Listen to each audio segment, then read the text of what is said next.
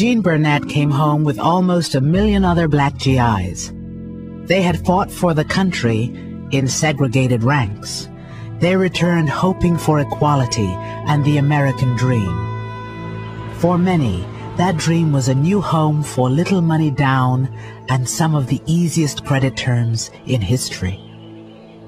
I went up to the salesman. We're interested in your home. We're interested in buying one. And uh, what is the procedure? Is there an application to be filled out? So forth. So he looked at me,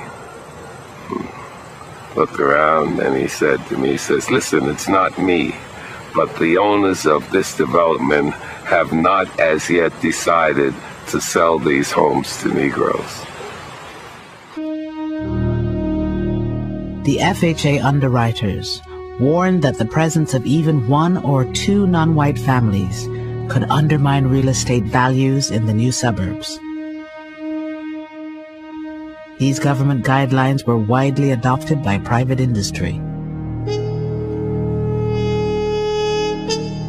Race had long played a role in local real estate practices.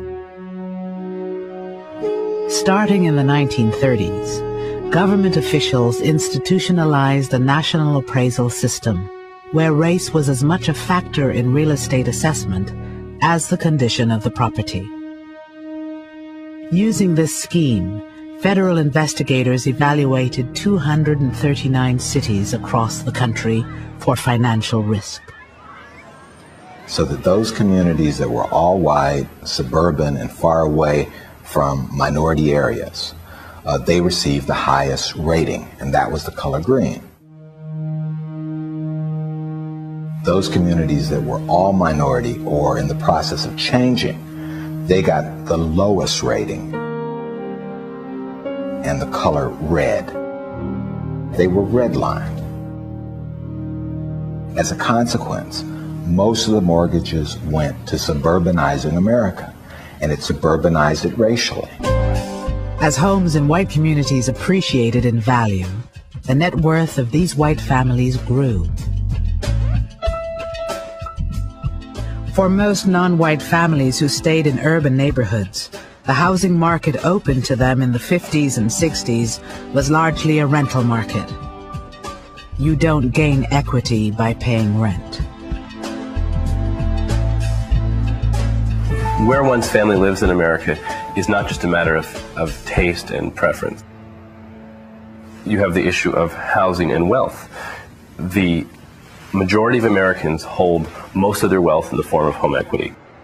So that's their nest egg. That's how they can finance the education of their offspring. That's how they can um, sort of save up for retirement. Um, it's their savings bank, right? They're living in their savings bank. My family, like a lot of families, was in Detroit struggling to buy a house. You had a dual housing market, one white, one black. A housing market with one with a lot of demand, another housing market with very little demand. My father lives in the house that I grew up in. The house today, five bedroom house, is worth about $20,000. That same house bought in the suburbs would be worth today about $320,000. So whites moving to the suburb were being subsidized in the accumulation of wealth, while blacks were being divested. And these were public policy decisions in which, on one hand, people were given access to property, um, given title, and subsequently wealth. And on another hand, where people were not given access to property, did not generate wealth, and did not generate the kind of opportunity for the next generation.